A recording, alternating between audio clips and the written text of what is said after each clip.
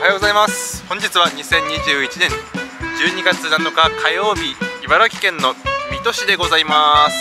今日はね朝から茨城県の結構有名な公園の日立海浜公園に行こうと思っていたんですけども今日定休日でした。定休日でした。定休日でした。で今日どうしようかなと思ったんだけどさっきね茨城県でね信じられないものを見たんですよ。なんと我らが北海道が誇るセイコーマートがなぜかね関東の茨城と埼玉にも何軒かあるらしいんですよね。ちょっと行ってみたいと思います。ではレッツラゴ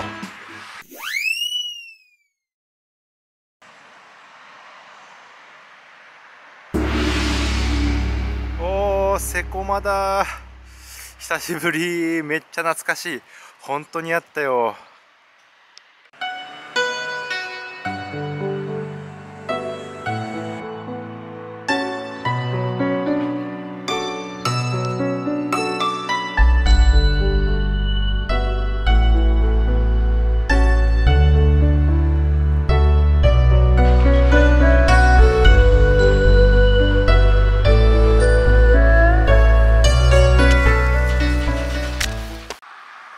はいということでセイコーマートで買い物をしてまいりました。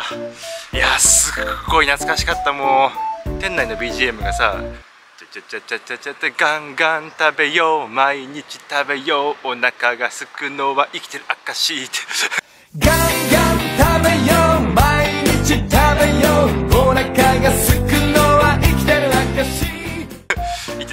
懐かしかった。これあの道民には伝わると思うんですけどね。はい。ということであの買ったものを紹介していきましょ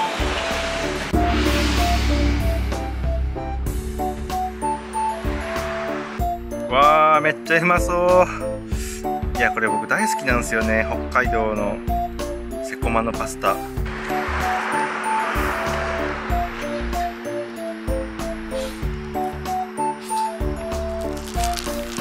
ベーコンおかかおにぎり。めっ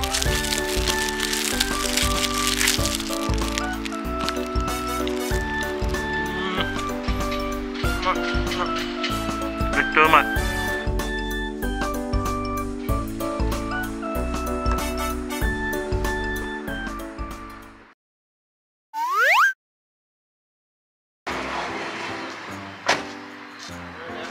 あ、こん。にちは。お疲れ様。はい。と今あの茨城のセイコーマートでご飯食べてたらあの宗谷の総評さんっていう方にお会いしましてあのツイッターであの金がねあの拝見させてもらってます。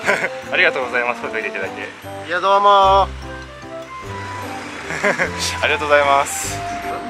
今年の年末も宗谷行かれるんですか？総評さん今年もあの予定はね年末は宗谷岬に行かれるそうなのでよかったらあのぜひあの年末の宗谷岬に行ってみてはどうでしょうか？ありがとうございます。すいません。差し入れをいただいてしまいました。ありがとうございます。いやーびっくりした。まさか宗谷の総評さんにもうここでお会いできるとは思ってなかったので。はい。はい、総評さんありがとうございました。声かけていただいてありがとうございます。